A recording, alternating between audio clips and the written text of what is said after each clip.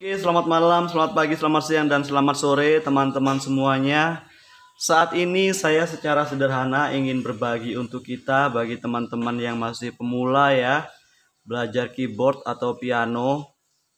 Untuk pola tangan kirinya seperti apa ya, dan juga teknik penjarian di tangan kanan ya. Secara sederhana, secara simple saya ingin bagikan untuk kita semuanya. Jangan lupa kalau di cork ya kita tekan tombol grand piano supaya iringannya piano. Kalau teman-teman di PSR Yamaha bisa tekan portable grand ya. Portable grand piano ya atau portable grand bacaannya ya supaya menjadi iringan piano. Saya coba akan berikan sedikit trik sederhana atau cara yang simple ya terutama dalam mengiringi lagu kidung jemaat maupun pelengkap kidung jemaat yang berirama tiga ketuk ya.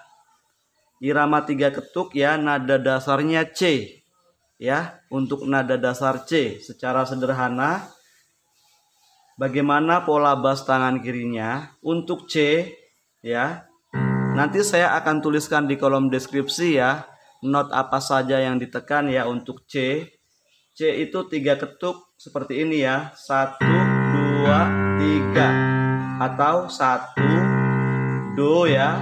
Kemudian lima atau sol. Kemudian do lagi. Ya. Jadi polanya kalau C satu dua tiga. Satu dua tiga. Seperti itu ya secara sederhana untuk C. Do sol do ya kemudian untuk F ya jadi kalau C kita main pakai C itu biasanya uh, temennya atau pasangannya chord atau kuncinya itu F ya. F itu seperti ini ya. Fa ya di sini ya. Satu dua tiga. Satu dua tiga. Atau Fa Do Fa. Seperti itu ya. Satu dua tiga fa do fa. Ya fa yang di sini ya. Ini juga fa ya. Ini do juga ya. Do dua tiga. Kemudian kalau kita pakai C sebagai nada dasar itu nada rendahnya dia di G. Nah G seperti ini ya. Satu dua tiga. Atau sol re sol. Ya satu dua tiga ya. Seperti itu ya secara sederhananya untuk lagu khusus yang tiga ketuk ya. Teman-teman boleh mencobanya. Nanti saya tuliskan di kolom deskripsi ya. Not apa saja yang ditekan ya. Itu untuk lagu-lagu yang tiga ketuk ya. Jadi kalau C seperti ini. Kemudian F. Kemudian G.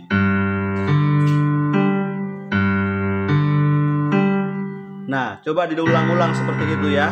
Sampai hafal diulang-ulang seperti itu.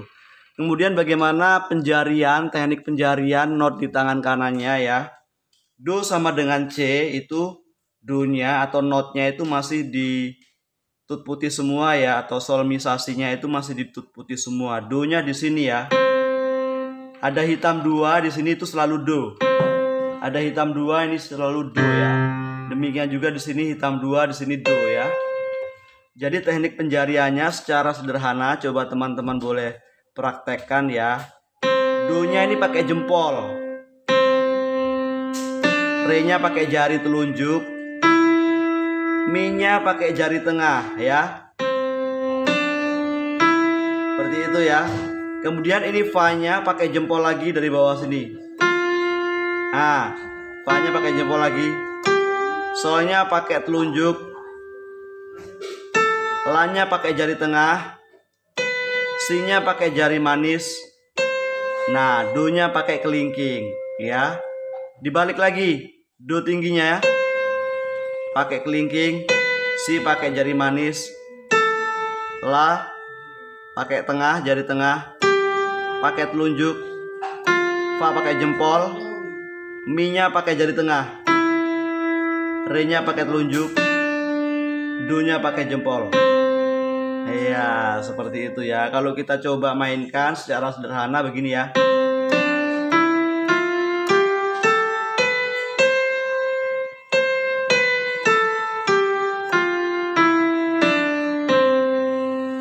Demikian ya untuk iringan sederhana atau tutorial sederhana bagi teman-teman yang masih baru pemula belajar untuk mencoba ya. Selamat mencoba, semoga berhasil.